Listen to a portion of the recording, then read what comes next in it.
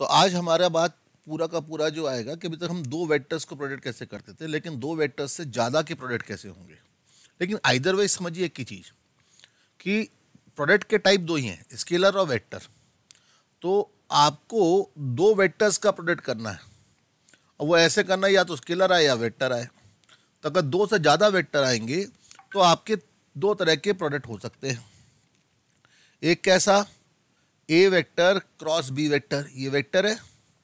इसका डॉट ले लो सी के साथ, या फिर A vector cross B vector का क्रॉस ले लो सी के साथ। ये दो पॉसिबिलिटीज बनती हैं, ठीक है?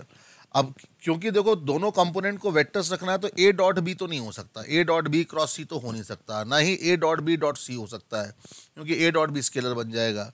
तो इस कारण से एक कंपोनेंट को तो वेक्टर रखने के लिए हमें क्रॉस में ही रखना पड़ेगा। तो ये वाला जो कहला है दोनों कहलाते हैं ट्रिपल प्रोडक्ट ठीक है? ये ट्रिपल प्रोडक्ट कहलाते हैं और यहाँ पे ये क्योंकि रिज़ल्ट आउटपुट जो आएगा स्केलर आएगा तो हम इसे स्केलर ट्रिपल प्रोडक्ट और इसे हम लोग वेक्टर ट्रिपल प्रोडक्ट बोलते हैं। ठीक है ना? क्या क्या बोलेंगे? स्केलर ट्रिपल प्रोडक्ट और वेक्टर ट्रिपल प्रोडक्ट ये बोलेंगे। तो अब इसको हम लोग एक एक करके हम लोग देखते हैं। तो सबसे पहला जो है that is scalar triple product S T P तो ए बी सी तीन वेक्टर्स हैं तो A cross B dot C this is defined as scalar triple product अब इसका मतलब क्या होता है? मतलब अगर आप देखेंगे तो ये होगा क्या? देखिए ए क्रॉस बी अगर आप देखो तो कुछ इस तरह से हम लोग बोल सकते हैं this will be equals to mod of A vector mod of B vector sine theta N cap अब उसका डॉट सी के साथ तो उसका डॉट सी के साथ लोगे तो mod of A vector mod of B vector sine theta तो ऑलरेडी है। अब यहाँ पे जो होगा, ये हो जाएगा मॉड ऑफ़ एन कैप तो वन हो गया मॉड ऑफ़ सी वेक्टर और हो जाएगा कॉस ऑफ़ फाइव जो एन कैप और सी के बीच का एंगल है, ठीक है? तो ये आपका बन रहा है mod of A vector mod of B vector mod of C vector ठीक है? और ये हो जाएगा sine theta cos five okay? चलो, अब इसको जरा हम लोग ज्योमेट्रिकली इंटरप्रेट करने की कोशिश करते हैं। ओके तो ये तीन वेक्टर है A vector B vector C vector तो जरा देखो कि mod A mod B sine theta theta is the angle between A vector and B vector ठीक है? तो ये पैरोग्राम है ना? दिस इज़ द पैरोग्राम तो area of area of base base का एरिया क्या है? बेस का एरिया है कितना? Mod A mod B sine theta क्यों? क्योंकि एरिया पैरोग्राम क्या होता था? Modulus of A cross B ठीक है? तो modulus of A cross B will give you the area of this base ये जो बेस है, इसका आपको एरिया दे देगा। और ये आपका हो गया एन कैप अब एन कैप और सी के बीच का एंगल है फाइव ये वाला एंगल है फाइव ठीक है? तो जरा देखना मॉड सी कॉस फाइव ये जो है बेसिकली एक तरह से ये क्या है projection of C vector on N cap तो ये प्रोजेक्शन डालोगे तो बेसिकली ये ये वाला जो हाइट होगा,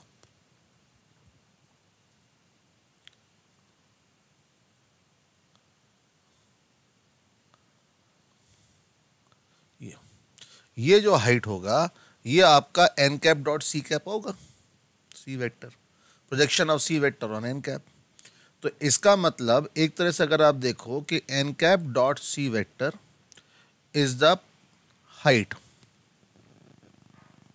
ठीक है? ये दो पैडल फेसेस के बीच की हाइट है। अब ये इसको हम लोग यूटिलाइज कैसे कर सकते हैं? देखिए, क्या होता है? थ्री जो थ्री डायमेंशनल फिगर्स होते हैं, दो स्टैंडर्ड थ्री डायमेंशनल फिगर्स होते हैं, वो दो तरह के होते हैं। ठीक है? थ्री डायमेंशन स्टैंडर्ड फिगर्स जो होते हैं, वो एक होता है प्रिज्म और एक होता है पिरामिड। प्रिज्म में क्या किया जाता है कि प्रिज्म में हम लोग एक कोई पॉलीगॉन लेते हैं और उसी की तरह का एक दूसरा कॉन्ग्रेंट पॉलीगॉन लेंगे और उनके कॉरस्पॉन्डिंग वर्टाइसिस को ज्वाइन कर देंगे। तो ये प्रिज्म हो गया। पिरामिड में क्या होता है कि पिरामिड में हम लोग ऐसे ऐसे कोई एक बे, कोई भी बेस लेते हैं और उस बेस के नॉन कोप्लानर एक पॉइंट लेके उसे बाकी सब कॉरस्पॉन्डिंग पॉइंट से ज्वाइन कर देते हैं। तो जब ऐसे ज्वाइन करते हैं तो क्या होता है कि ये जो फिगर बनता है इसे कहते हैं pyramid this is the prism on a triangular base this is the pyramid on a triangular base इसी तरह से अगर आप देखो कि अगर मैं ऐसे स्क्वायर बेस ले लूँ रेक्टेंगल बेस ले लूँ या पैलोग्राम बेस ले लूँ ठीक है तो क्या बन जाएगा? ये ऐसे मैं दो बेस ले रहे हैं पड़ेंगे मुझे। ठीक है, ये दो कॉन्ग्रेंट बेसिस लेंगे तो ये हो गया। इसी तरह से यहाँ देखोगे तो ये आपका इस तरह से हो जाएगा। ये this is a pyramid on a rectangular base और square base whatever you want to call ठीक है, जो जैसा भी है। तो इसके तरह, हिसाब से आपके जो बनेंगे फिगर जो होंगे, वो ऐसे होंगे। ठीक है? अब ये जो फिगर्स होते हैं, इनके वॉल्यूम्स कैसे निकाले? वॉल्यूम तो volume of a prism is what volume of a prism is area of base into height और पिरामिड के केस में it is one by three area of base into height ठीक है? तो अब नॉर्मली हमको जो जो फिगर्स की ज़रूरत पड़ती है, उसकी बात अगर हम लोग करें तो वो कौन सा है कि एक तो आपके पैरलोग्राम या रेक्टेंगुलर बेस पे अगर आप ऐसे बनाते हो, ये, और इनको ज्वाइन करते हो तो ये क्या होगा? This is called as parallelepiped parallelepiped और जब आप ट्राइंगुलर बेस पे एक पिरामिड बनाते हो ट्राइंगुलर बेस पे जब पिरामिड बनता है तो ये कहलाता है टेट्राहेड्रॉन पढ़ा होगा ना ऑर्गेनिक केमिस्ट्री में सी एच फोर का फिगर जो होता है वो तो टेट्राहेड्रन तो tetrahedron is the pyramid on a triangular base ठीक है आपके चार हाइड्रोजन एटम्स का पोजीशन यही आता था ना अब इसमें ये क्या तो है रेगुलर पिरामिड्स भी होते हैं रेगुलर टेट्राड्रन रेगुलर टेट्राड्रन में क्या होगा कि चारों सारी की सारी वर्टाइस देख रहे हो कि यहाँ पे क्या होगा? टेट्राड्रन की बात हम अलग से कर लेते हैं। तो ये पैडलोपॉइड हो गया। पैडलोपॉइड में ये क्या होगा? आपके सारे फेसेस पैडलोग्राम होंगे। यही पैडलोग्राम अगर रेक्टेंगल बन जाएँगे तो पैडलोपॉइड क्या बन जाएगा? क्यूबॉइड बन जाएगा। ठीक है? अब देखिए टेट्राहेड्रन के बारे में हम थोड़ा सा बात अलग से कर लेते हैं जैसे कि हम लोग यहाँ पे और फ्रीली बात कर पाएँगे। ठीक है? तो टेट्राहेड्रन बेसिकली क्या होता है? उसकी क्या प्रॉपर्टीज़ होती हैं? हम उनकी बात करते हैं। ठीक है? तो tetrahedron is a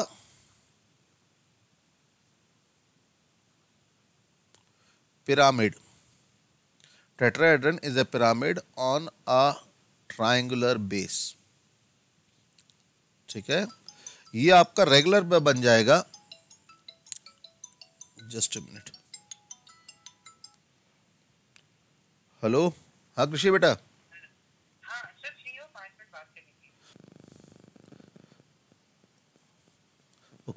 तो pyramid on a triangular base तो इसमें ये सारे साइड्स देख रहे हो कि यहाँ पे एक चीज़ क्या होती है कि पिरामिड में इसमें क्या होगा? There will be four faces ठीक है? Four vertices four faces four vertices ठीक है? और एजेस कितने होंगे? सिक्स एजेस होंगे। एजेस मतलब ये साइड्स एक, दो, ये हो गया एक, दो, तीन, चार, पाँच और छः। और ये आपके चार वर्टाइसेस हो गए।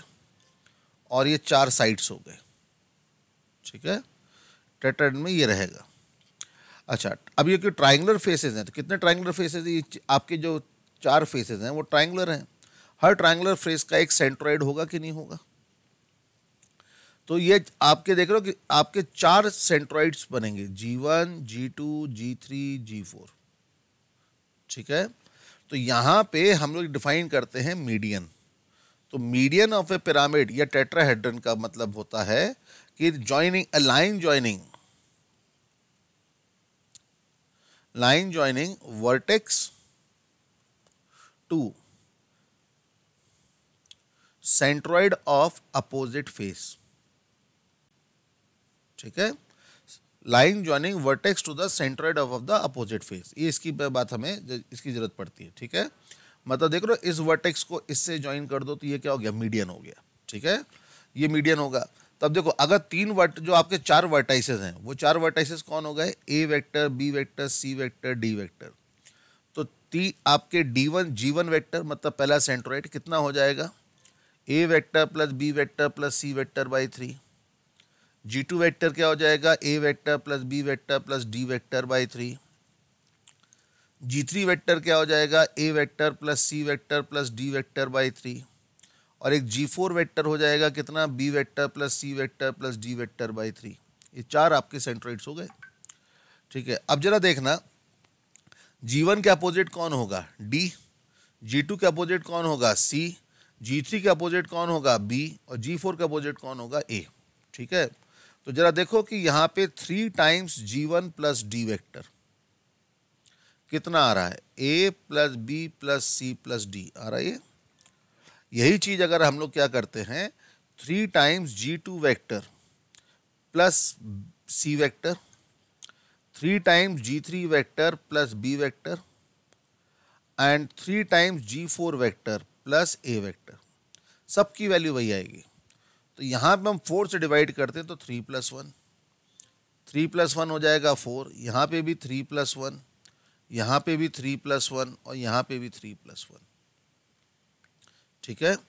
अब ये इस तरह से आपके जो कंडीशन आया, इसका मतलब क्या हुआ? कि ये एक पॉइंट है एक मीडियन पे, ये दूसरा पॉइंट एक पॉइंट है दूसरे मीडियन पे, ये पॉइंट है तीसरे मीडियन पे, ये पॉइंट है चौथे मीडियन पे। लेकिन सबका पोजीशन वेक्टर एक ही आ रहा है। मतलब चारों मीडियंस एक ही पॉइंट से बात कर रहे हैं तो मतलब हम क्या बोल सकते हैं कि फोर मीडियंस आर कॉन्कुरेंट चारों के चारों मीडियंस कैसे हैं? कॉन्कुरेंट है। ठीक है? तो उनका point of concurrency point of concurrency जो होगा, वो क्या कर रहा है? उसे हम लोग कहते हैं सेंट्रॉइड ऑफ़ टेट्राहेड्रन ट्राइंगल का सेंट्रॉइड अलग था, ये मीडियम का सेंट्रॉइड है। ठीक है ना? Yes this is the centroid of a tetrahedron that is the point of concurrency वो देख रहा हो कि सेंट्रॉइड क्या कर रहा है? मीडियन को किस रेशो में डिवाइड कर रहा है? मीडियन को डिवाइड कर रहा है थ्री टू वन के रेशो में। और उसका पोजीशन वेक्टर क्या आ रहा है? A vector plus B vector plus C vector plus D vector by four ठीक है? तो ये आपका क्या हो गया? सेंट्रॉइड हो गया टेट्राहेड्रन का। ये करता जैसे ट्राइंगल में सेंट्रॉइड क्या करता था? तीन इक्वल एरिया में डिवाइड करता था। वैसे ही यहाँ पे जो सेंट्रॉइड है, वो टेट्राहेड्रन को चार इक्वल वॉल्यूम्स में डिवाइड करता है। ठीक है? चार इक्वल वॉल्यूम्स में ये डिवाइड करेगा। क्लियर सबको यहाँ तक?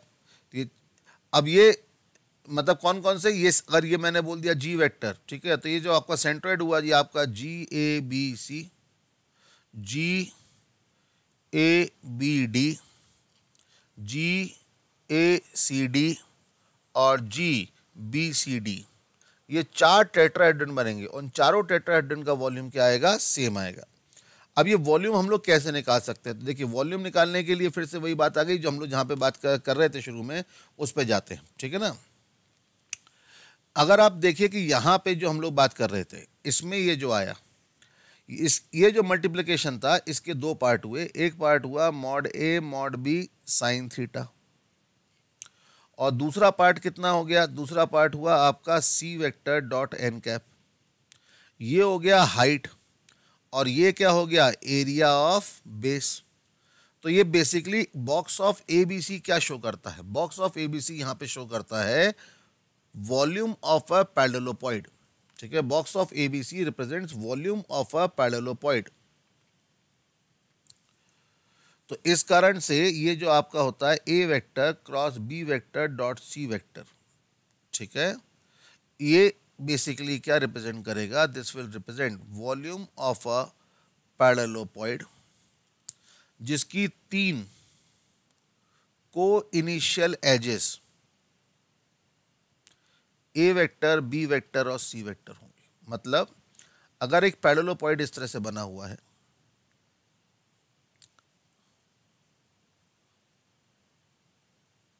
ये पैरेलोपॉइड ठीक है? तो उसकी तीन एजेस ये। ये ये और ये, ठीक है? तो ये ए वेक्टर ये बी वेक्टर ये सी वेक्टर तीन को इनिशियल एजेस होने चाहिए। तो इसका जो वॉल्यूम होगा, वो basically A cross B dot C आ जाएगा। अब होता क्या है कि इसको कई बार नोटेशन नोटेशन वाइज ऐसे भी लिखते और रीड करते बॉक्स ए बी सी ठीक है? Box of A B C ये इसको हम लोग रीड करते हैं, ये आपको देगा वॉल्यूम ऑफ़ पेडोलोपॉइड ठीक है? अच्छा या फिर आप इसको ऐसे भी देख सकते हैं कि अगर इसका नामकरण कर रहे होते ए बी सी डी ये हो गया आपका ई एफ़ जी एच तो आपको वॉल्यूम निकालने के लिए क्या करना है? वॉल्यूम निकालने के लिए और इसका मॉड ले लो क्योंकि यहाँ पे साइन वाइन से फ़र्क पड़ सकता है तो इसका मॉड जो होगा वो वॉल्यूम दे देगा। ठीक है? तो अगर आपको वॉल्यूम निकालना है तो आप क्या करते हो? कोई भी एक वर्टेक्स पकड़ लो। लेट से मैंने वर्टेक्स सी पकड़ा। तो सी से कौन कौन सी एजेस निकल रही हैं? सी से एजेस निकल रही हैं C B vector C D vector और सी जी वैक्टर, ये निकल रही है। इनका बॉक्स प्रोडक्ट इनका बॉक्स प्रोडक्ट मतलब सी बी का क्रॉस सी डी के साथ और मतलब कि दो का क्रॉस और तीसरे के साथ डॉट ये और इसका मॉड ये आपको वॉल्यूम दे देगा। ठीक है? This is what volume of a parallelepiped ठीक है?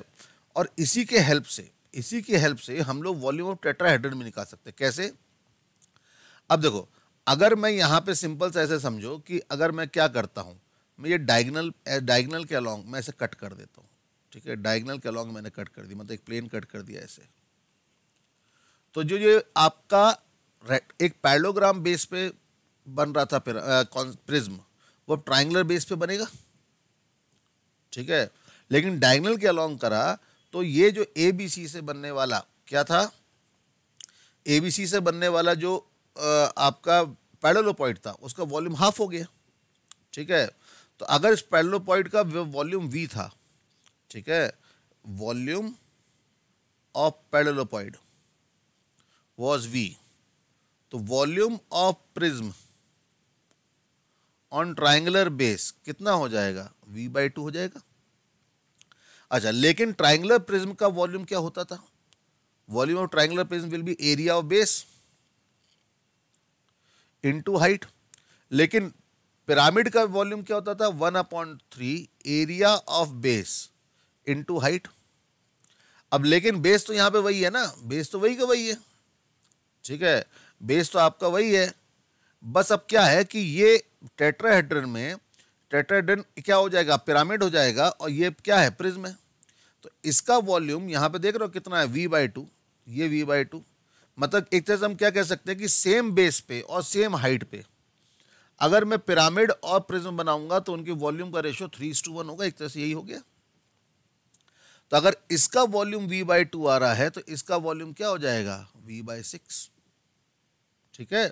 इसका मतलब अगर मुझे टेट्राहेड्रन का वॉल्यूम निकालना है, ठीक है? टेट्राहेड्रन का वॉल्यूम निकालना है कि मान लीजिए किस तरह से टेट्राहेड्रन एक हो गया। ये ऐसे में टेट्राहेड्रन बना देता हूँ ठीक है? ये टेट्राहेड्रन हो गया। ए बी सी डी तो आप क्या करो, इनमें से कोई भी एक वर्टेक्स पकड़ लो। यहाँ से निकलने वाले किन्हीं भी तीन वर्ट तीन साइड वेक्टर्स तीन साइड वेक्टर कौन हो गए ए बी ए सी और ए डी ज़रूरी नहीं है ए आप कोई भी पकड़ सकते बी बी लेते तो B A B C B D हो जाते, ठीक है? इनके क्रॉस का डॉट ठीक है, और इसका मॉड, ये क्या देगा? वॉल्यूम ऑफ़ पेडलोपाइड और उसका कर दो क्या? One by six this is the volume of a पेडलो volume of a tetrahedron ठीक है? तो अर्थात कुल मिला के अभी तक का जो लब्बो लुबाव है, वो उसको हम लोग अगर बोलना चाहें तो क्या बोल सकते हैं कि एस का यूज़ करा जाता है वॉल्यूम जहाँ भी एरिया आता है, वहाँ पे क्या यूज़ करते हैं? क्रॉस प्रोडक्ट यहाँ पे, जहाँ पे भी वॉल्यूम आएगा, वहाँ पे क्या यूज़ करेंगे? एस ठीक है? एस का ज्योमेट्रिकल इंटरप्रिटेशन ही क्या है? वॉल्यूम। ठीक है? चलो, ये तो बात हो गई कि वॉल्यूम होता है। लेकिन एस टी इवेल्युएट भी तो करना पड़ेगा ना भाई। ठीक है? तो एस टी इवेल्युएट कैसे करा जाए? How do we evaluate S तो एस टी पी को इवेल्युएट करने का तरीका क्या होगा? उसकी बात करते हैं। समझ में आया बच्चों ये? कैसे करना है, क्या ये सबको समझ में आया?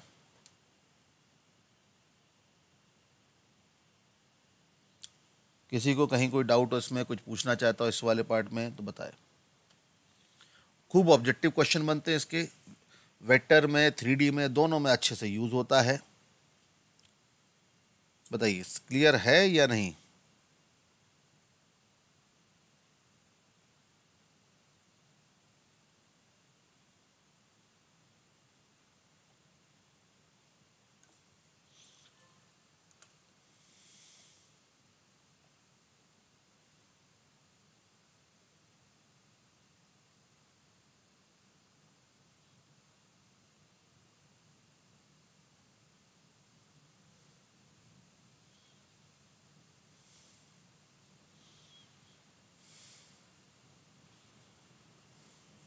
क्लियर है सबको?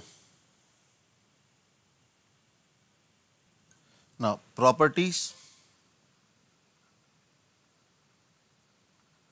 of S T P S T P की प्रॉपर्टीज़ क्या होगी? अब एस टी पी की प्रॉपर्टी बहुत ज़्यादा इस चीज़ से देखी जाएँगी कि आपको डिटर्मिनेंट कितना आता है, क्योंकि डिटर्मिनेंट ही हो गया ना। तो अगर मैंने आपसे बोला कि a box of A B C three B one B two B three C one C two C three अब ध्यान दो यहाँ पे क्या होगा। यहाँ पे पहले ए कौन आया? बी आया सी आया। पहले ए क्यों आया? क्योंकि यहाँ पहले ए था, ठीक है? अब देखो, अगर मैं यहाँ पे सबसे पहली चीज़ एक चीज़ नोट करो फ़र्स्ट थिंग अगर मैं डिटर्मिनेंट में रोज या कॉलम्स का सर्कुलर परमुटेशन करता हूँ सर्कुलर परमुटेशन करता हूँ मतलब क्या? कि अगर ये ए बी सी था तो मैंने अब क्या करा? बी की जगह सी सी की जगह ए और ए की जगह बी ठीक है? तो ऐसा कर दिया box of B C A तो इससे क्या होगा? ये रो ऊपर चला जाएगा, ये ऊपर चला जाएगा और ये वाला घूम के इधर आ जाएगा, ठीक है? तो लेकिन डिटर्मिनेंट की वैल्यू तो सेम रहेगी मतलब एसटीपी भी सेम रहेगा। इसके बाद इसी तरह से box of C A B तो बॉक्स अगर सर्कुलर परमुटेशन करते हैं, तीन कंपोनेंट्स का तो एसटीपी में कोई चेंज नहीं होता, ठीक है? जो आपका एसटीपी में तीन वेक्टर दे रखे हैं, उनका अगर सर्कुलर परमुटेशन करोगे तो उसमें एसटीपी में कोई चेंज नहीं आएगा। ठीक है? इस कारण से A vector dot B cross C will be equals to what C vector dot A cross B बोल सकते ये? ये लास्ट वाला ये और ये। तो मैंने बोला नहीं, दोनों सेम होंगे, क्योंकि देखो इसको क्या लिख सकता हूँ? डॉट प्रोडक्ट तो कम्यूटेटिव होता है। तो A cross B dot C और ये किसके बराबर है? A dot B cross C देख रहे हो, दोनों में अंतर क्या है? डॉट और क्रॉस ने इंटरचेंज कर दिया। ठीक है? तो हम लोग प्रॉपर्टी क्या कहते हैं कि value of S T P doesn't change the value of S T P doesn't change if position of dot and cross are interchanged ठीक है? डॉट और क्रॉस की जगह इंटरचेंज करने से वैल्यू ऑफ़ एस में कोई चेंज नहीं आएगा। ठीक है? हाँ अब देखना कि एस की वैल्यू जो है, वो पॉजिटिव भी आ सकती है और नेगेटिव भी आ सकती है, क्योंकि हम तो सिर्फ़ डिटर्मिनेंट निकाले डिटर्मिनेंट पॉजिटिव, नेगेटिव कुछ भी आ सकता है। तो अगर डिटर्मिनेंट की वैल्यू पॉजिटिव आती है तो देखो, यहाँ पे पॉजिटिव पे जाने से पहले एक काम करते हैं। पॉजिटिव पे जाने से पहले बात करते हैं कि अगर इसकी डिटर्मिनेंट की मतलब box of A B C अगर ज़ीरो आ जाए तो क्या होगा? इसका फ़िज़िकल मीनिंग क्या है? What is the physical meaning of box A B C equal zero ठीक है? देखिए मतलब वॉल्यूम ज़ीरो होगा। वॉल्यूम ज़ीरो कब हो सकता है? वॉल्यूम ज़ीरो तब हो सकता है, दो केस हो सकते हैं। ठीक है? पहला केस वॉल्यूम का ज़ीरो होने का मतलब तीन वेक्टर्स कोप्लानर हैं। ठीक है, तीन वेक्टर्स कैसे हैं? कोप्लानर्स हैं तो अगर तीन वेक्टर कोप्लानर होंगे तो उनका एस क्या होगा? ज़ीरो तो हम इसे कोप्लानरिटी के लिए यूज़ कर सकते हैं। ठीक है? आपको कभी भी ये चेक करना है कि तीन वेक्टर कोप्लानर हैं या नहीं। ये प्लेन की इक्वेशन लिखने में बहुत कम आएगा आगे। ठीक है? तो अगर तीन वेक्ट if A vector B vector C vector are coplanar then box of A B C equals to zero मतलब डिटर्मिनेंट ज़ीरो होगा। याद करो, हमने लीनियर डिपेंडेंसी इंडिपेंडेंसी में भी यही रिज़ल्ट निकाला था, ठीक है? तो वो यहाँ पे भी बहुत आराम से आ जाता है। अच्छा दूसरा केस ये हो सकता है कि any two of them are parallel any two of them are parallel और इनमें से कोई दो पैडल हो जाएँगे तो क्या हो जाएगा? तो भी तो बेसिकली अगर कोई दो पैडल हो गए, ये एक वेक्टर हो गया, ये एक वेक्टर हो गया, दोनों पैडल वेक्टर है, ये तीसरा वेक्टर तो हो तो कोप्लर ही जाएँगे ना। मतलब अगर आपके डिटर्मिनेंट में से कोई भी दो रोज क्या हो गई? प्रोपोर्शनल हो गई। तो डिटर्मिनेंट तो ज़ीरो ही आएगा। तो इफ़ एनी टू इस कारण से हम प्रॉपर्टी क्या बोल सकते हैं? यहाँ पे एक प्रॉपर्टी तो ये हो गई कि अगर A B C non coplanar हैं तो उनका एस टी पी ज़ीरो आएगा। ठीक है? दूसरी चीज़, इसी का इंटरप्रिटेशन क्या हो सकता है कि if any two vectors are parallel parallel होने का मतलब क्या? B vector equals to lambda time C vector मतलब एक तरह से B one by C one is equals to B two by C two is equals to B three by C three कोई भी दो वेक्टर अगर हो जाएँगे तो देख रहे हो क्या हो जाएगा? आपका determinant A one A two A three B one B two B three और सी वन जो हो जाएगा वो आपका K times B one K times B two K times B three ऐसे आ जाएगा। अगर आपने इसको क्या बोल दिया? इसको आपने बोल दिया वन अपॉन के तो सी वन क्या हो जाएगा? के बी वन तो ये देख रहे हो, ये डिटर्मिनेंट हमेशा क्या आने वाला है? ज़ीरो डिटर्मिनेंट की प्रॉपर्टी है। इस कारण से अगर जैसे मैं आपसे बोलूँ what is the box of A B B तो box of A B B zero आएगा। Box of B A B ये क्या आएगा? ज़ीरो आएगा। अगर मैं बोलूँ कि box of three A A B ये क्या होगा? ये भी ज़ीरो आएगा। क्यों? तो क्या, वो आपको बेसिकली क्या हो जाएगा कि ये क्योंकि दोनों प्रोपोर्शनल हो गए तो इसकी वैल्यू कितनी आ जाएगी? ज़ीरो आ जाएगी। ठीक है? ओके थर्ड पॉइंट स्टार्ट से अच्छा ये देखो कि अगर box A B C zero हो गया तो तो हमने देख ही लिया। ठीक है कि box A B C zero होगा तो क्या होगा? वो अभी हमने देखा। अब ज़ीरो नहीं होगा बॉक्स ए बी सी तो क्या होगा? बॉक्स ए बी सी के बाद पॉजिटिव वैल्यू आएगी, या फिर कैसी वैल्यू आएगी? नेगेटिव वैल्यू आएगी। लेकिन दो तीनों वेक्टर नॉन को प्लानर होंगे ना। नॉन को प्लानर वेक्टर्स होंगे, तभी तो जाके बॉक्स ए बी सी जो रहेगा पॉजिटिव और नेगेटिव वैल्यू देगा। और को प्लानर हुए तो ज़ीरो देगा। लेकिन ये भी आप ध्यान करो कि हमें किसी वेक्टर को रिप्रेजेंट करने के लिए कितने वेक्टर चाहिए? तीन नॉन को प्लानर वेक्टर चाहिए। तो अपने आप में तीन नॉन को प्लानर वेक्टर्स एक सिस्टम है। सिस्टम क्यों बोल रहे हैं? क्योंकि they are self sufficient to represent any vector in the in the space ठीक है? तो जो तीन वेक्टर्स का सिस्टम होता है, उनके दो दो क्लासिफिकेशंस होते हैं। एक क्लासिफिकेशन होता है क्या? कि लेफ़्ट हैंडेड सिस्टम और एक होता है right handed system. Right handed system मतलब किन्हीं दो वेक्टर्स का अगर मैं क्रॉस लूँगा तो उसका नॉर्मल वेक्टर तीसरे वेक्टर से एक्यूट एंगल बनाएगा। ठीक है? बात समझ में आ रहा है? तो ये आपका राइट हैंड सिस्टम रहेगा। तो जब भी box of A B C positive है तो A B C in order forms है राइट हैंडेड सिस्टम ठीक है? ये राइट हैंडेड सिस्टम बनाएँगे। लेकिन अगर नेगेटिव आएगा तो हम उसे लेफ़्ट हैंडेड सिस्टम बोलेंगे। तो अगर कभी कोई तुमसे बोलता है कि बताओ ये तीनों वेक्टर लेफ़्ट हैंडेड सिस्टम बनाते हैं कि राइट हैंडेड सिस्टम बनाते हैं, आपको उनका एसटीपी चेक करना है। एसटीपी अगर कैसा आया पॉजिटिव तो राइट हैंडेड है, और अगर नेगेटिव आया तो लेफ़्ट हैंडेड है। ठीक है? तो ये चीज़ ध्यान रखिएगा। अच्छा तीसरी इसी में देखिएगा चौथी चीज़ हम लोग क्या बोल सकते हैं कि अगर मैंने बोला box of A B C ठीक है? अब अगर मैंने क्या करा, मैंने बी और सी को इंटरचेंज कर दिया ए सी बी कर दिया तो क्या हो जाएगा? हमने क्या करा? दो वेक्टर्स को इंटरचेंज करा ना तो डिटर्मिनेंट में क्या फ़र्क आएगा? डिटर्मिनेंट में बी और सी वाला रो इंटरचेंज हो जाएगा। और डिटर्मिनेंट जब मैं किन्हीं दो रोज को इंटरचेंज करता हूँ तो डिटर्मिनेंट का साइन चेंज हो जाता है। तो बैलेंस रखने के लिए आप एक तरह से बोल सकते हो ये। मतलब whenever you interchange any two of the components then the value of S T P changes it sign ठीक है? Value of S T P क्या करेगा? अपना साइन चेंज कर देगा। ठीक है? अच्छा अब देखो अब जैसे मैं छोटे छोटे क्वेश्चंस की बात करता हूँ यहाँ पे। क्वेश्चंस की अगर हम लोग बात करें तो क्या हो जाएगा? कि लेट से अगर मैंने बोला कि find me box of A plus B B plus C C plus A ठीक है?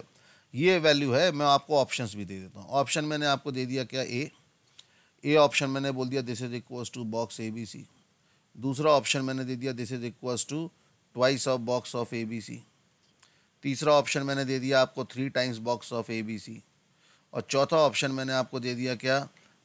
Let say minus of box A B C ठीक है? ये चार ऑप्शंस मैंने आपको दिए और इसको निकालना है। अब देखो स्कूल कॉलेज में अगर आपको यानी कि बोर्ड्स वगैरह में करना है तो आप इसे कैसे करोगे? इसको करने के लिए बेसिकली ए प्लस बी ठीक है? ए प्लस बी का डॉट किसके साथ? बी प्लस सी का क्रॉस सी प्लस ए करने का जो सिंपल जो मेथड है वो ये है, ठीक है? अब आपको इसे सिंप्लीफाई करना है। जो प्रॉपर्टीज़ आपने डॉट क्रॉस की यूज़ करी थी, वो आपको यूज़ करना है। तो देखो ये क्या बनेगा? This will become B cross C plus C cross C cross product distributive होता है एडिशन सब्ट्रैक्शन पे, लेकिन ऑर्डर में plus B cross A plus C cross A ये हो गया। ओके सी क्रॉस सी तो क्या हो जाएगा? ज़ीरो हो जाएगा। अब मैं एक बार ए से डॉट दूँगा तो A dot B cross C ये क्या बन गया? Box of A B C फिर ए का बी क्रॉस ए से लोगे तो ए बी ए फिर हो गया ए सी ए अब बी के साथ लो बी के साथ लेंगे तो box of B B C plus box of B B A and plus box of B C A हो गई? तो देखो, ये ज़ीरो ये ज़ीरो ये ज़ीरो ये ज़ीरो क्योंकि दो दो वेक्टर सेम हो रहे हैं। तो बचा क्या? बचा आपका box of A B C ठीक है? Plus box of B C A ठीक है? Box of B C A लेकिन ध्यान करो, जो box of B C A है, उसको मैं सर्कुलर परमुटेशन करके box of A B C भी लिख सकता हूँ। क्योंकि box of B C is box of A B C is also equal to box of C A B ये तीनों की वैल्यू सेम थी सर्कुलर परमुटेशन तो मैं इसको लिख दूँगा box of A B C plus box of A B C तो इससे हमारा आंसर क्या हो जाएगा? Two times box A B C हो जाएगा। तो मतलब स्कूल वगैरह में करना है तो आपको ऐसे लिखना पड़ेगा बोर्ड्स वगैरह में तो ठीक है? हाँ लेकिन अगर मुझे ऑब्जेक्टिवली ये क्वेश्चन करना है तो मेरे पास दूसरे तरीके भी हैं, ठीक है? कैसे तरीके हैं, देखो। यहाँ पे अगर ऑप्शन ही चेक करना है तो हम क्या कर सकते हैं? देखो, यहाँ पे काम की बात समझो। काम की बात यह कि what is box of I J K I J के का बॉक्स क्या होगा? Box of I J K is nothing but it is I dot J cross K but J cross K is I तो I dot I कितना आएगा? One मतलब box of I J के हमेशा वन आएगा। ठीक है? एक इंफॉर्मेशन ये। दूसरी इंफॉर्मेशन क्या? कि बॉक्स ऑफ़ अगर मैंने आपसे बोला कि alpha times A vector B vector C vector तो इसका मतलब क्या हुआ? मैंने एक रो में क्या मल्टीप्लाई कर दिया? अल्फ़ा मल्टीप्लाई कर दिया ना? अब एक रो में अगर अल्फ़ा मल्टीप्लाई कर दिया डिटर्मिनेंट में तो वो तो कॉमन आ सकता है तो बाहर कॉमन आ जाएगा तो ये बचेगा ना? मतलब स्केलर प्रोडक्ट को मैं बॉक्स के अंदर ले जाके डिस्ट्रीब्यूट कर सकता हूँ, ठीक है? लेकिन वो किसी एक ही पे जाएगा। अब अल्फ़ा को आप अंदर ले जाना चाहो तो अल्फ़ा को आप ए पे ले जाओ बी पे ले जाओ सी पे ले जाओ। अगर आपको ऐसे दे रखा है कि M into N into A B C आप इसे M times A vector B vector N times C vector ऐसे भी लिख सकते हो। आप चाहो तो इसे M times A vector N time B vector C vector ऐसे भी लिख सकते हो। आप चाहो तो इसे आप ऐसे भी लिख सकते हो ए बी और M N into C ये डिस्ट्रीब्यूट जैसे कर रहा है, लेकिन किसी एक पे करना है। ठीक है डिटरमेंट की प्रॉपर्टी है सिंपल सी। इन दोनों को कंबाइन करके आप देखिए कि इस क्वेश्चन को आप कैसे कर सकते हो। क्योंकि आई जे के में एवेलुएट करना आसान है। हम यहाँ पे ये क्यों डिटरमिनेंट क्यों नहीं बना पा रहे थे? क्योंकि ए बी सी आई जे के में नहीं पता। अगर ये हर ए बी सी के लिए ट्रू है तो एक काम करते हैं, मैं ए को मान लेता हूँ कितना? आई कैप बी को मान लेता हूँ जे कैप और सी को मान लेता हूँ कितना? के कैप ठीक है? तो अगर ये मान लूँगा तो बेसिकली मुझे क्या निकालना है? आई प्लस जे जे प्लस के और के प्लस आई ये इसका एसटीपी निकालना है। इसका डिटर्मिनेंट वन वन ज़ीरो ठीक है? Zero one zero zero one one और वन ज़ीरो वन ये बनेगा? इवेलुएट कर दो। ये कितना हो जाएगा? One times one minus zero minus one times zero minus one plus zero times जो भी होगा। तो देख रहे हो कि ये कितना वैल्यू आ रहा है? टू लेकिन अगर मैं आई जे के लूँगा तो बॉक्स ऑफ़ आई जे के कितना? वन ये टू ये कितना आएगा? थ्री और ये आएगा माइनस वन कौन सा ऑप्शन मैच कर रहा है? टू तो राइट आंसर टू हो गया। ऐसे भी कर सकते हो आप। ठीक है? समझ में आया?